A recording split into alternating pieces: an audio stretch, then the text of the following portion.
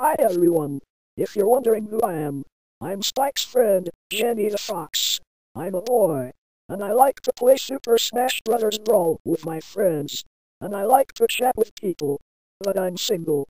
If there's any girl who wants me, just comment me on my channel or on the video. Okay, so that's all I gotta say for today. Oh, and one more thing. Before I forget, I heard that Spike has made a music game called Super Smash Fans. He said that all of his friends are gonna be in it. If you want to join his game, you either send your sprite to him in a private message or tell him what to make for you. Okay, that's all for today. See you guys later.